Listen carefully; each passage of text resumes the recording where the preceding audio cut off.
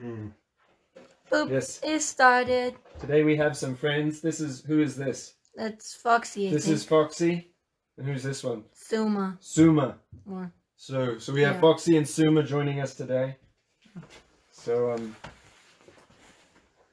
Yeah, so we're going to um no no just leave it on the table. It's okay. Okay. Sorry, guys.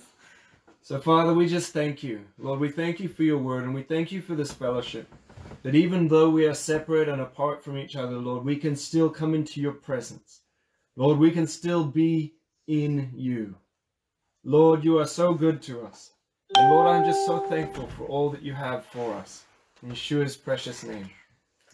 Amen. So, uh, last week we, we took a walk through uh, the resurrection. And uh, we're going this week. We're going to go back to First Peter. Uh, in a in a week or so, I'll probably, as we get a little closer to Shavuot and Pentecost, we're definitely going to talk a little bit more about that. So uh, you can look forward to that in a, in a week or so. Um, before I get started, I, I do want to wish everybody uh, happy Anzac Day. And um, for those of you who, you, it was also this last week we had Yom HaShoah, so Holocaust Remembrance Day. And then on, I think it's either Monday or Tuesday, Tuesday our time is Yom HaZichron, which is um, which is the Memorial Day for Israel as well, similar to Anzac Day. So it happens that they're both in the same same time period of the, of the year of the calendar. And then Wednesday is Independence Day for Israel. That's right, and then Wednesday would be Independence Day for Israel. So if you know any Israelis, uh, tell them Happy Independence Day and uh, Happy Yom HaZikaron. So let's all turn in the Word to First Peter. We're still in chapter one. We're starting at verse twenty-two.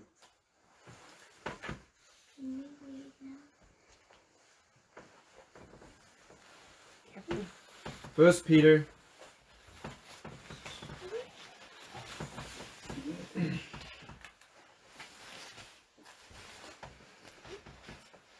So, um, as as you're turning there, uh, we remember that Peter, of course, is the author. He's the apostle. He's the disciple of Yeshua, the talmid, the talmid who who followed him, and and the Lord really did a work in Peter's life. He really changed Peter's life, and um, he became known as the apostle to the Jews. And we we talked before about how this letter and Second Peter they're both written primarily to uh, Messianic Jews uh, throughout the provinces of Asia, Asia Minor, what we call Turkey today. And uh, even though, of course, it was primarily to Jews, we know that there were many Gentiles who uh, were grafted in uh, to those congregations, grafted into the root, and truly uh, were a part of those communities. So, in, in many ways, the letter is directed straight to us a messianic community full of Jews and Gentiles. And we are talking currently about what it means to live in, uh, in God's grace of salvation and living in harmony. So last last time when we went through Peter, we were actually talking about holiness and the call to holiness in our lives. This this week we go from holiness and start to talk about living in harmony with one another. So let's go straight to the word. First Peter chapter 1 verse 22. Now that you have been purified your souls in obedience to the truth, leading to sincere brotherly love, love one another fervently from a pure heart. You have been born again, not from perishable seed, but from imperishable, through the living word of God. For all humanity is like grass, and all its glory like a wildflower. The grass withers and the flower falls off, but the word of the Lord endures forever. And this is the word that was proclaimed as good news to you. So get rid of all malice and all deceit, and hypocrisy, and envy, and all lashon hara.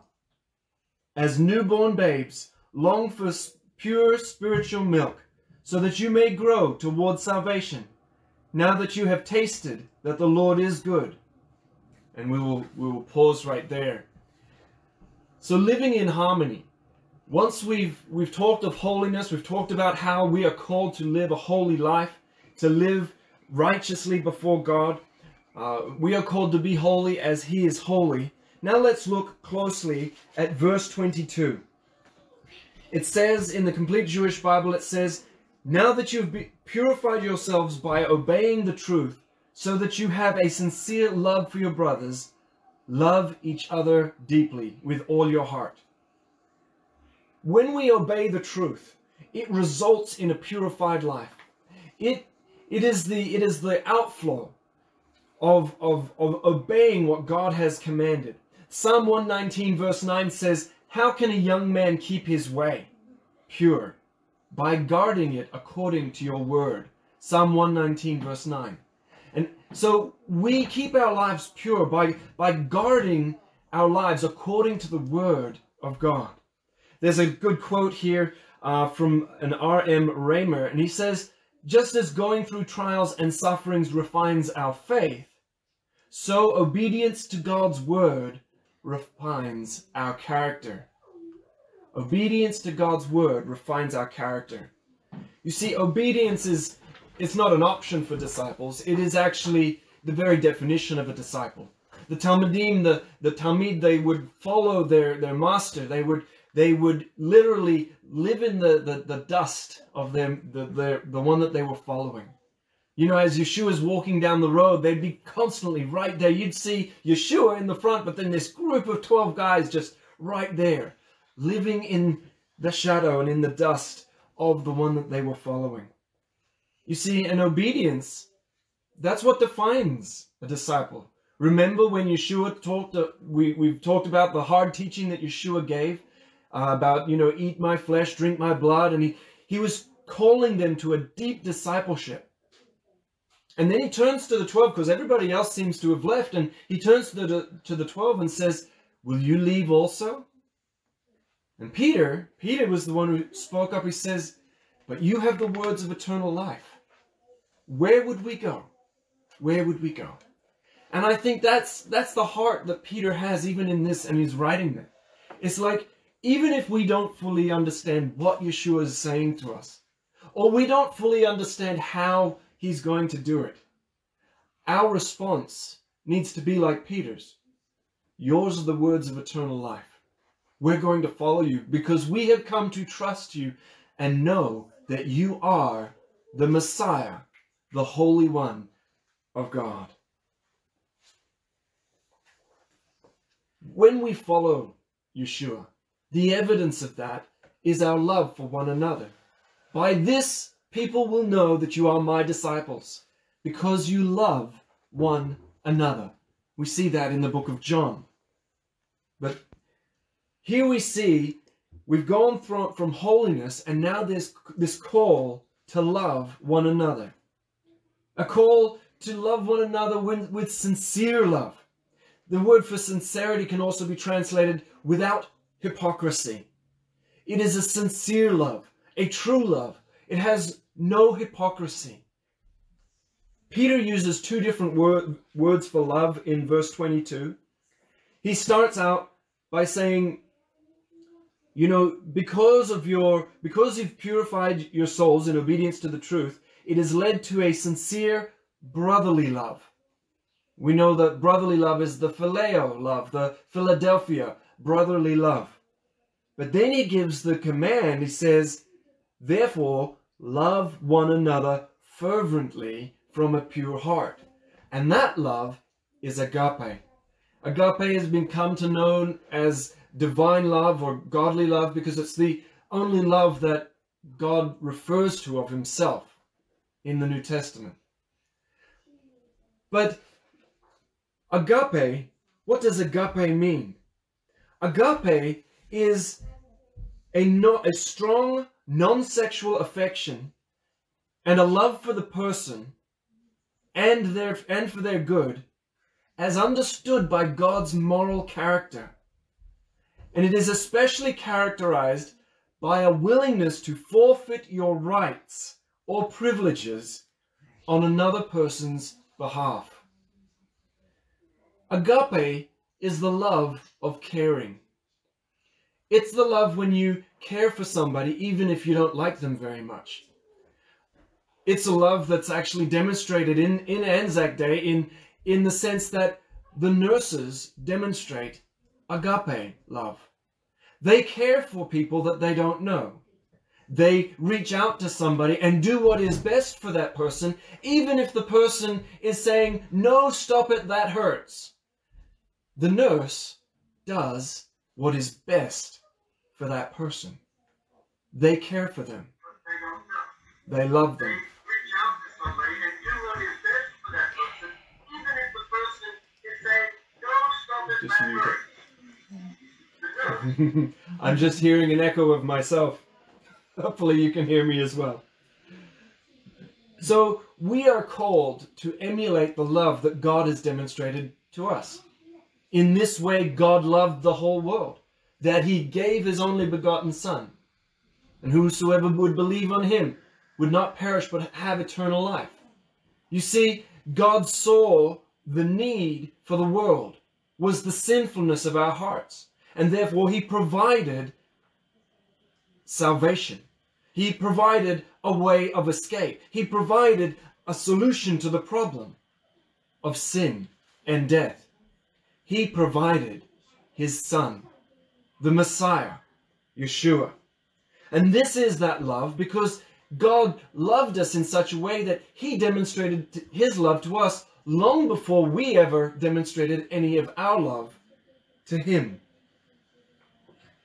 The love that we are called to express is to be expressed deeply.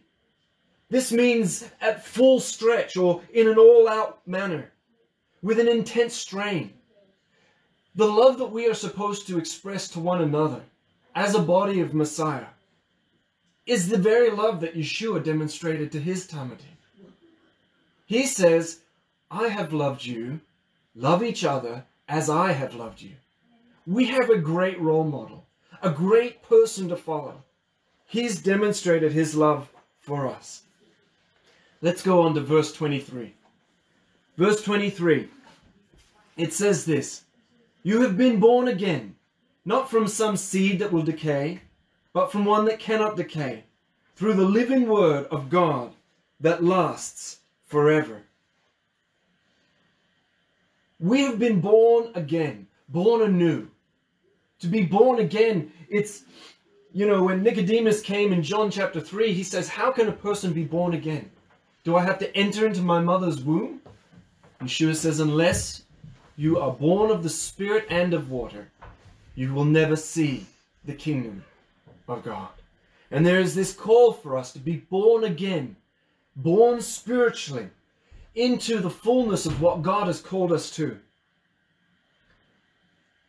Basically, what Kepha is reminding us is this that whatever we do in obedience to the Word of God will last forever. But whatever we do in the energy of the flesh, it will look beautiful for a time, but then it will die.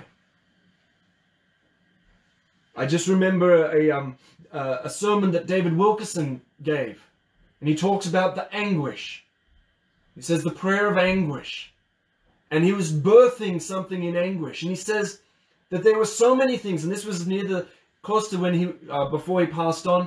He says there were so many things that he had done, and they were just they might have been good things, but they ended up just being the work of the flesh. It was just good, and it just did not bear lasting fruit. But he says the things that were birthed in anguish, the things that where the, the, the heart of God and the, the, the just the pain and the, the, the, the desires of the Lord, what God is longing for, when that drives us to a place where we are compelled to obey, he says, those are the things that produced long lasting fruit. And that's exactly what Peter is saying here. Our being born again was paid for by the anguish of our Savior, Yeshua the Messiah. And the things that we are called to do, in many cases, I would say most cases, they must be born from a place of anguish, a place of wrestling, a place of crying out to the Lord, a place of, of asking God, What are you saying to me now? Those are the things that will have eternal fruit.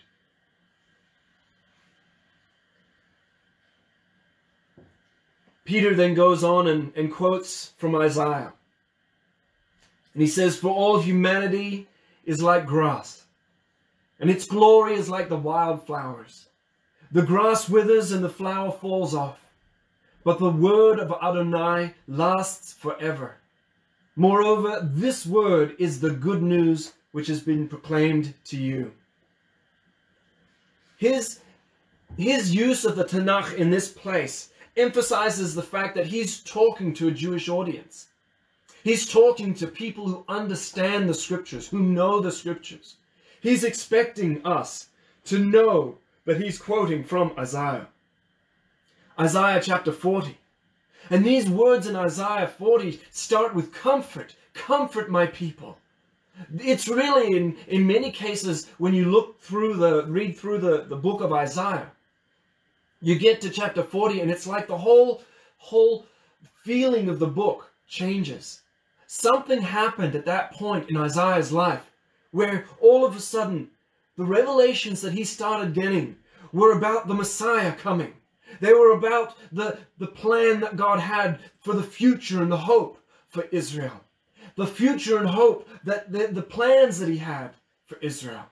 I'm not exactly sure what Isaiah saw in chapter 40, but I can tell you that these words of comfort, they remind us of the futility of the, of the now, but they also remind us of eternal glory.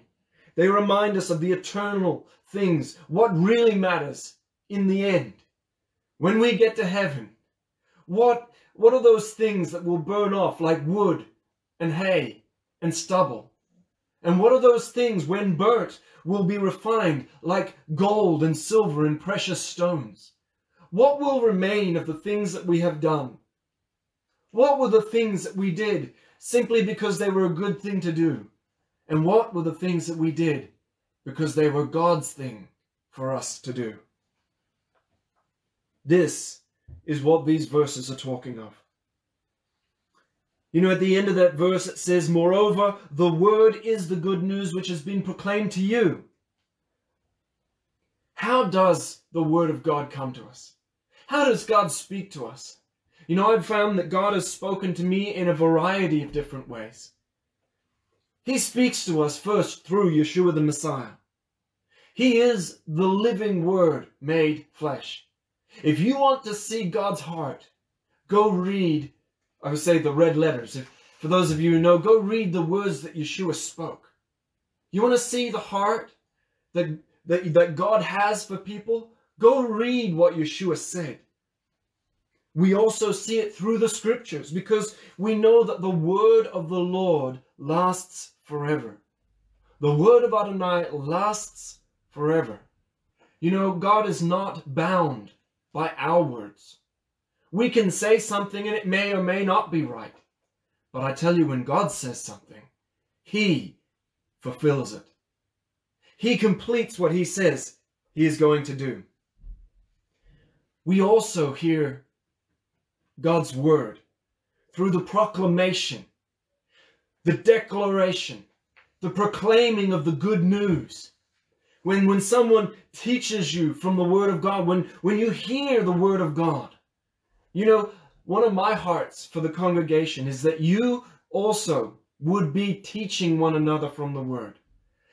It's good that you want to listen and hear me as I expound some of the scriptures. And I'm and I'm thankful for that, and I know that it's necessary to, for us to come together as a congregation. But it's not enough to eat once a week. You must be feeding yourself and your family more often. You need to be reading the Word of God. You need to be talking with your children, talking with one another, praying with one another. That's an area that even I see that I can grow in, is that I need to pray more. I need to seek God more with my family, with my wife. Do I worship God with my wife? Do I spend time reading the Word and discussing it with my children?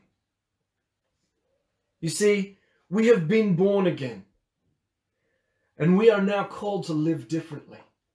We are not going, we, we do not live the same life that we had before. We are called to a newness of life. And this is where I know that you know that the chapters and verses were put in much later. Peter didn't actually put in the, the chapter, which is why in the complete Jewish Bible it starts out by saying, therefore. And uh, I had a great preacher once tell me, if you ever see a therefore, you need to find out what it is there for. He's, it's a conjunction. He's saying, based upon what I've just said, let's talk about something else. Rid yourselves of all malice, of all deceit, hypocrisy, envy, all of these ways that are, that are speaking against people, and become like newborn babies, thirsty for the pure milk of the word, so that by it you may grow up into deliverance. For you have tasted that Adonai is good.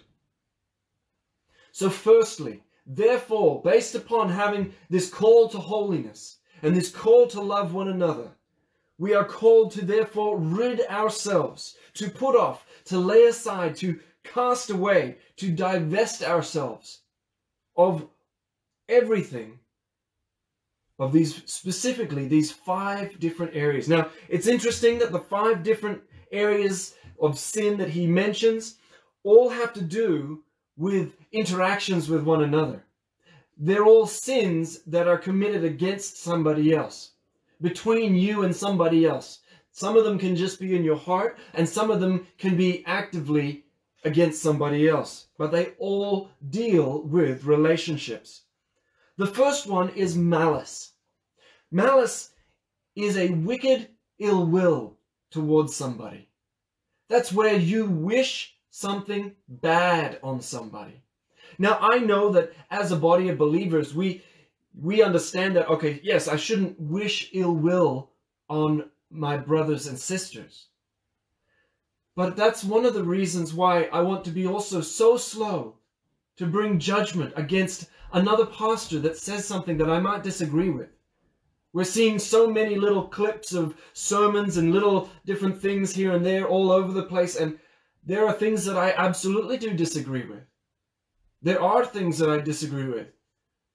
But I want to be so slow before I bring an accusation against a person until I've heard them fully out. I do not wish them ill, even in the cases of disagreement. And you know, this is something that as we get into political seasons, we need to hold as believers some this we have to hold this. That even though we have a political disagreement with someone, we must not wish them ill. Do not wish for anyone to go to hell. Do not wish for anyone to suffer judgment. I pray for the people around me. I pray for people's salvation. I do not wish for any to taste that judgment. I want them to experience the forgiveness that I've experienced. I want them to experience that sort of life. The next is deceit. Deceit is a deliberate dishonesty. It's lying or deliberately concealing the truth from someone when it could benefit them. We also mentioned hypocrisy. Hypocrisy, uh, it is a pretend piety or love. It, hypocrite was the Greek word for actor. It means to pretend, to act. You've got a mask. You know, you have a, a mask on. You're pretending to play a different character. You know, the word integrity is the opposite of that. Integrity comes from the word in, or integer. Our word integer comes from the same root as the word integrity. It means oneness. It means that you're the same person regardless of who you meet with, regardless of who you are with. Number four is envy. That is a resentful discontent. You see, I've I've talked about the difference between envy and, and jealousy. Envy always has that resentful side to it. It is always resentful of a person for what they have, for the wife they have, for the, their spouse, for the, for the car, for the house that they have. It goes right into the 10th commandment, you shall not covet Number five is slander. Slander, and you know, slander. I used the word lashon hara in the in the um, Tree of Life version. Lashon hara is directly translated the evil tongue. And it is a derogatory speech about another person. It is the sharing of rumors, of gossip, sharing bad stories about somebody else, deliberately to make the other person look bad. Instead, what are we called to? Let's, let's throw these things aside. And what are we called to be? Well, we are called to be like newborn babies. Well, what are newborn babies like? Newborn babies are vulnerable. They are vulnerable for, you know, nine months in the womb and nine months out of the womb. They are so vulnerable. Everything, they are so dependent upon their mother. They are helpless. They can't do anything for themselves. They can't change the nappies. They can't feed themselves. They can't, they can't do anything. They don't even know that it's time to go to bed sometimes. And they're hungry. All the time hungry. For, for those of you mothers who breastfeed, I know it's like this two hour on the dot. You don't miss it. They don't miss it. Trust me, you do not miss that two hour feeding. And it doesn't matter if it's the middle of the night or it doesn't matter. But they are hungry. You know, these attributes really reflect the, the, the things that we should have in our lives. You see, the pure milk of the word is what nourishes us. And we are to crave the unadulterated spiritual milk of the world, of the word, sorry, of the word. The spiritual milk of the world. And, and oh, man, I keep saying world. My apologies. The word. The spiritual milk of the word. And uh, for those of you who are, who are lactose free, it's okay. This will not cause an adverse reaction. You know, it is sad when believers have no appetite for the Word of God. We are called to grow and to crave God's Word, but instead we see a lot of craving after religious entertainment. And that's not what we're called to. We are called to crave the meat of the Word. We are called to grow from, from babes into adults, and we are called to go from the milk of the word into the meat of the word. And to really to have things that are chewing, and, and this is demonstrated through discipleship. Going from the, the milk of the word to the meat of the word is demonstrated by obedience. Obedience to what God has called us to do. When we are properly fed spiritually, then we grow up into mature, mature believers. And our own our salvation, our own, our own understanding of the love that God has for us, of, of the heart that he has, also grows. You know, the scripture says that anyone who desires to be a bishop desires a good thing. Anyone who desires to be a servant leader or a shamashim desires a good thing. You know, it is a, is a great thing to be able to serve others. Because I will guarantee you that it's not like the rest of the world. When you are in a position of authority in the world, you are the man or the woman in power and in charge.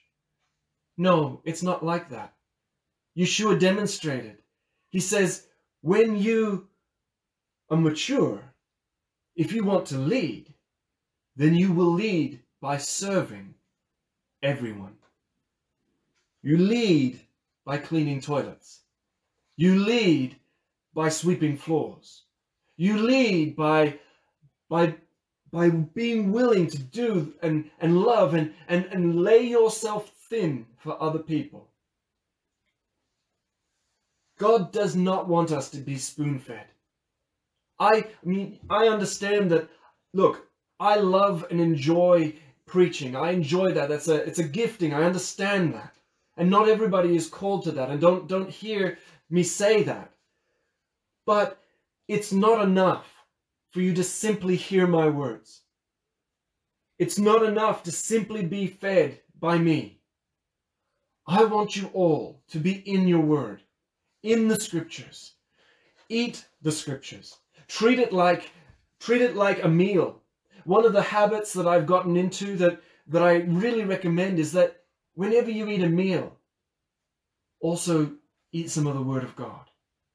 Use it as an opportunity so that you never you never forget to eat your breakfast. So then read some Word of God when you eat your breakfast. Just remember to chew on the Word of God and to truly follow after Him. I want to close with a with a scripture from the book of Hebrews. I'm going to go to Hebrews chapter 5. It's just a couple pages before Peter. Hebrews chapter 5. And we'll start at verse 12. Actually, I'll start at verse 11. Hebrews chapter 5. Now, about this subject, there is much for us to say, and it is hard to explain, since you have, been, you have become sluggish in hearing. For although you ought to be teachers by this time, again you need someone to teach you the basic, basic sayings of God. For you have come to need milk and not solid food. For anyone living on milk is inexperienced, and the teaching about righteousness, he is an infant. But solid food is for the mature, who through practice have their senses trained to discern both good and evil. As we mature, maturity comes with it comes with experience. We know that we know that in a practical sense. But maturity does not just come from going through experiences. It comes from making godly decisions in those experiences. This is why you have some believers who, who've been believers for 30, 40, 50 years, but are still newborn in their faith. Because although they have gone through many experiences, they have not responded in the way that Yeshua would respond. They have not laid down their life as Yeshua laid down his life. Notice it says here, but solid food is for the mature, who through practice have their senses trained to discern both good and evil. Discernment is learned.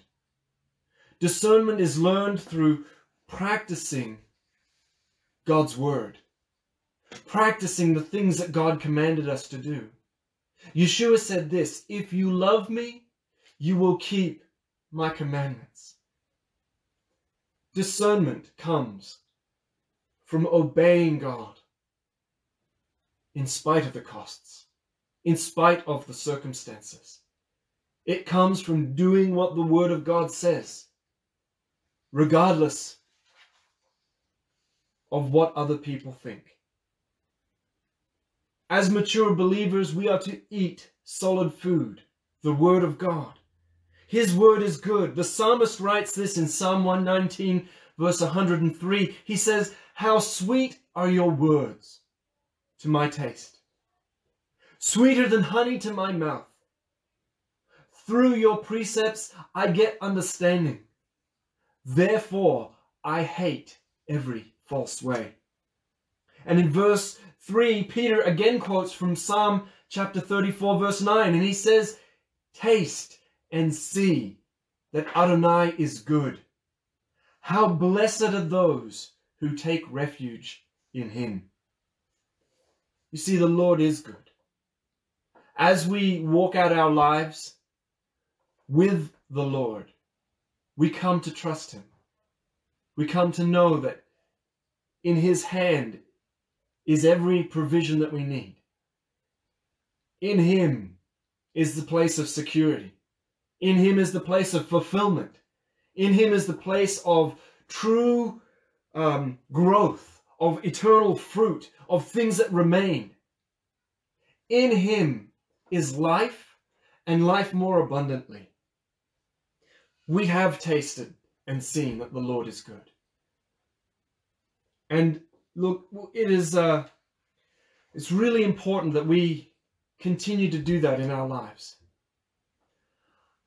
I'm going to to pray, and then we'll, we'll close in the Aharonic benediction and, and continue the uh, the Zoom meeting if there's any questions. But Father, I'm just I'm coming before you, And Lord, I'm asking, Lord, that we would hear your word, that we would hear you, that you would speak to us clearly. Abba, Father, we want to hear your word so that we can obey your word. And Father, if it is something that you've already told us and we have not yet done it, I pray that you would remind us again. Remind us of those milestones that we may have forgotten. Take us back, Lord, to the place where you spoke to us last, so that we remember the last thing that you said, and so that we can obey. So that we can, Lord, obey. Lord, and, and demonstrate that, that, that we love you. Lord, demonstrate our love for you through that obedience. Lord, we are your servants. Lord, we are called to go wherever you call us. Lord, we are called to do what you have put before us, whatever that might be. And regardless of what that costs, we know that it is worth it eternally. In Yeshua's precious name. I'm going to close with the Aharonic benediction. We'll close off the, the live stream and then continue the Zoom. יברכך אדוני וישמרך, יהא אדוני פניו אליך וחונך,